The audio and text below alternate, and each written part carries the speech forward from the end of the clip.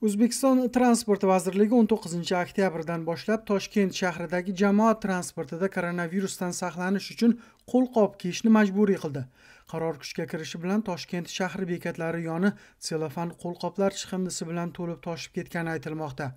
Jahon sog'liqni saqlash tashkiloti qo'lqoplar koronavirusdan himoya qilmasligini va hatto infeksiya yuqtirishga sababchi bo'lishi mumkinligini aytayotgan bir vaqtda vazirlik qarorni nimaga asoslab qabul qildi? Transport vazirligi qo'lqoplarni joriy qilishdan maqsad toshkent shahridagi yo'lovchilarning salomatligini asrash ekanligini ma'lum qilgan. Toshkent shahar transport boshqarmasi boshlig'i anvar jo'rayev matbuot anjumanida yo'lovchilar qo'lqoplar uchun pul bermasligi ular transport korxonalarining hisobidan olinishi va har bir qo'lqopning bahosi ellik olti so'mdan ekanligini bildirdi. Buning eng asosiy e, sababi har bir yo'lovchimiz o'rtacha bir kunda yigirma o'ttiz daqiqani transportda o'tkazadi. Shu davrda e, yo'lovchilarimizga e, chiptachilarimiz haydovchilarimiz hamda metrodagi kassa va e, metro operatorlari tomonidan bepul bir martalik qo'lqoplari tarqatilmoqda.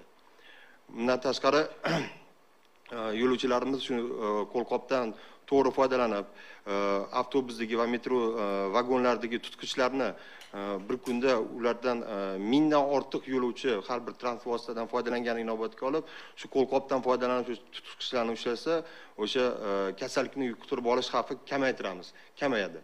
Jo'rayev qo'lqoplar kasallik yuqtirish xavfini kamaytirishi ilmiy asoslangan yoki asoslanmagani borasida hech narsa demagan. Bu borada tadqiqot o'tkazilgani haqida ham ma'lumot berilmagan.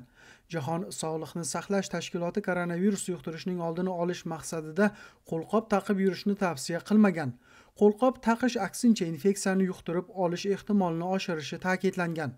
Bbcning transport vazirligi qarori nimaga asoslangani bbcning transport vazirligi qarori nimaga asoslangani nima uchun jahon sog'liqni saqlash tashkiloti tavsiyasiga amal qilinmayotgani haqida savol berish uchun matbuot xizmati bilan bog'lanishga qilgan harakatlari samara bermadi. Toshkent shahar transport boshqarmasi boshlig'i anvar jo'rayev ushbu talabni joriy qilishda aqsh va rossiya tajribalari o'rganilganini ma'lum qilgan.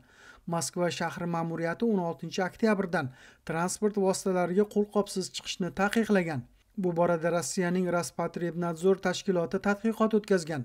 Transport vositalaridagi 100 mingdan ortiq namuna o'rganilganida virus 0.13 foiz holatda aniqlangan. Anvar jo'rayev aytgan aqsh tajribasida esa jamoat transportlarida bir martalik qo'lqop kiyish tavsiya qilinmagan. Qo'lqopni faqat koronavirus yuqtirgan odamlarning joylarini tozalayotganda kiyish tavsiya qilingan. Jahon sog'liqni saqlash tashkiloti esa nafaqat tavsiya qilmagan balki bir martalik qo'lqoplar infeksiya yuqtirishga sababchi bo'lib qolishi mumkinligini aytib mahalliy sog'liqni saqlash idoralarini yo'riqnomaga amal qilishga chaqirgan. Qo'lqoplarni joriy qilishda ochiq savollar ko'pligicha qolmoqda. Ularning narxi 56 so'mdan ekanligi va pulni avtokorxonalar to'lashi kerakligi aytilayotgan bo'lsa-da, ularni tarqatish va har kuni chiqadigan 430 ming juftdan ortiq bir martalik qo'lqoplarni yig'ib olish xarajatlari nimaning evaziga qoplanishi aytilmagan. Shuningdek, har kunda qo'lqopni sotib olish uchun sarflanadigan 24 million so'm xarajatni korxonalar nimaning evaziga qoplashi ham ma'lum emas anvar jo'rayevning bergan ma'lumotlariga tayanilsa bir oyda bir martalik qo'lqoplarni sotib olishning o'ziga 722 million so'mdan ortiq mablag' sarflanadi. Ular chiqindiga aylangach yig'ib olib yo'qotish xarajatlari ma'lum qilinmagan.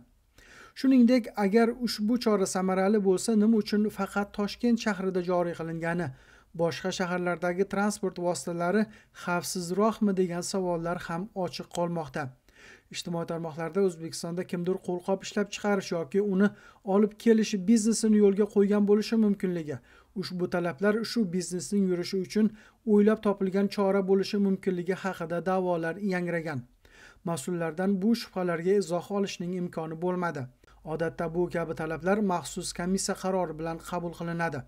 Bungacha maxsus komissiya tomonidan yo'llarga dezinfeksion vositalar sepish jamoat joylari va tashkilotlarga kirishda odamlarni maxsus dezinfeksion yo'laklardan o'tkazish samarasiz deb topilib bekor qilingan.